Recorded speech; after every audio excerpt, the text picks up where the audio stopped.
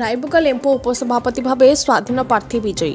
ସୁନ୍ଦରଗଡ଼ ଜିଲ୍ଲା କୁଆରମୁଣ୍ଡା ବ୍ଲକ ଅନ୍ତର୍ଗତ ରାଇବକା ଲେମ୍ପୁ ଉପସଭାପତି ନିର୍ବାଚନରେ ସ୍ୱାଧୀନ ପ୍ରାର୍ଥୀ ନିଜ ନିକଟତମ ପ୍ରାର୍ଥୀଙ୍କୁ ଗୋଟାଏ ଭୋଟ ବ୍ୟବଧାନରେ ପରାଜିତ କରି ଉପସଭାପତି ପଦ ହାତେଇବାରେ ସଫଳ ହୋଇଛନ୍ତି।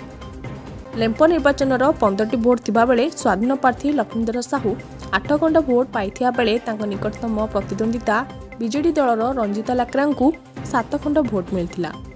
ଏହି ନିର୍ବାଚନ ସମୟରେ ବିଜେଡି ଦଳ କୁଆରମୁଣ୍ଡା ବ୍ଲକ ସଭାପତି ରାଜେଶ କୁମାର ହାସ୍ତା କୁଆରମୁଣ୍ଡା ବ୍ଲକ ଜିଲ୍ଲା ପରିଷଦ ନିଭିଲ କେରକାଟା ଭିକ୍ଟୋର ଭେଙ୍ଗ୍ରା ବିର୍ସା କିଣ୍ଡୋ ରବୀନ୍ଦ୍ରନାଥ ଭଗତ ପ୍ରମୁଖ ଉପସ୍ଥିତ ରହି ସହଯୋଗ କରିଥିଲେ। ସୁନ୍ଦରଗଡ଼ ଜିଲ୍ଲାରୁ ଜିଲ୍ଲା ପ୍ରତିନିଧି ଅବଦୁଲ ସାହୁଙ୍କ ରିପୋର୍ଟ ଏସିଆ ନ୍ୟୁଜ୍।